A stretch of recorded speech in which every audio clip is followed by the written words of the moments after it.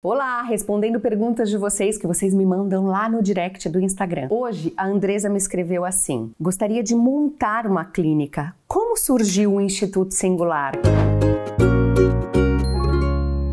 Andresa, hoje o Instituto Singular é uma composição de clínicas. Eu tenho clínicas em São Paulo Pinheiros, São Caetano do Sul, Osasco e no Ceará, em Fortaleza. E também uma clínica de atendimentos online, que tem um protocolo especial e atende pessoas de todo o mundo para acompanhar através dos pais ou também fazendo parcerias com equipes para a gente ir mais longe e agir mais e melhor. Além disso, o Instituto tem também hoje um grupo de pesquisas científicas para a gente colher dados das nossas próprias atuações e garantir o que a gente está fazendo. Garantir que tudo que vem aqui para as clínicas, ó, seja embasado cientificamente e todos esses resultados sejam comprovados também. Então a gente controla tudo com os dados, com as pesquisas. E tem também uma parte de formação desses profissionais profissionais. Então hoje eu capacito a própria mão de obra de terapeutas que estão atendendo online e também de forma presencial, com cursos de especialização, capacitação e aperfeiçoamento. Como começou? Eu acho que desde quando eu comecei a trabalhar. Comecei a trabalhar com 12 anos de idade e eu era assistente em consultório odontológico.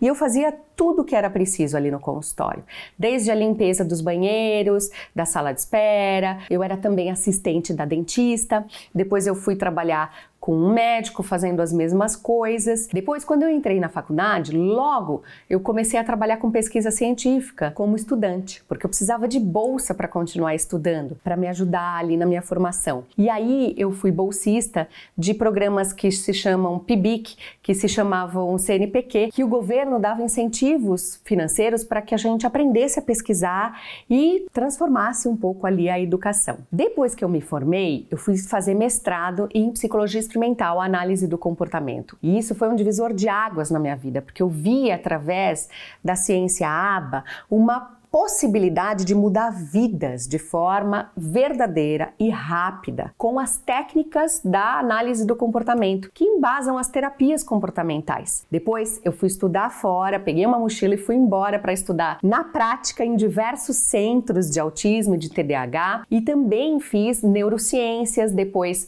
capacitações, depois especializações em modelo Denver de intervenção precoce, depois minha última pós-graduação foi um fellow na Universidade Universidade de Massachusetts que eu fiz uma formação em Infant Parent Mental Health, saúde mental de crianças e de seus pais. E trouxe tudo isso para o Instituto para passar de uma forma muito prática, de uma forma que realmente faz a diferença de ir para o chão, porque eu conheço todas as etapas do consultório, desde lá da base, da limpeza, eu já tive do outro lado do balcão. Então eu consigo entender como se faz cada uma dessas etapas, até que eu comecei a trabalhar depois como AT de escolas, AT na casa de crianças, comecei a atender em salas sublocadas, depois eu aluguei uma sala só para mim, até que eu consegui ter duas salas e hoje nós temos todo esse instituto. Então assim que começou, era uma realidade muito diferente. Nós tínhamos poucos profissionais que faziam isso que eu faço. Agora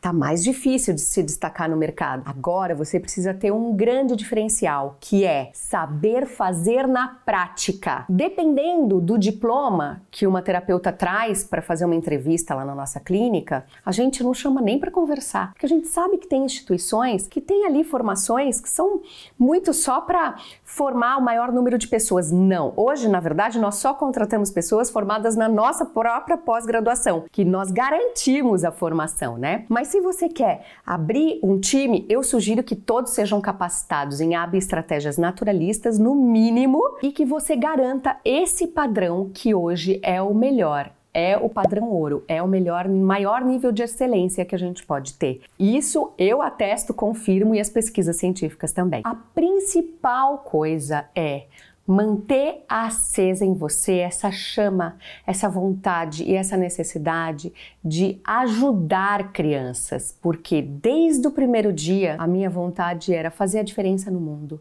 poder ajudar alguém que estivesse precisando. Quando eu abri as redes sociais, por exemplo, eu nunca esperei ter esse quase um milhão de seguidores só no YouTube e essa quantidade de seguidores no Instagram e nas redes todas. Sempre foi para tentar ajudar uma família a ser mais feliz, uma criança a se desenvolver e por ela eu já faria mil vezes tudo de novo.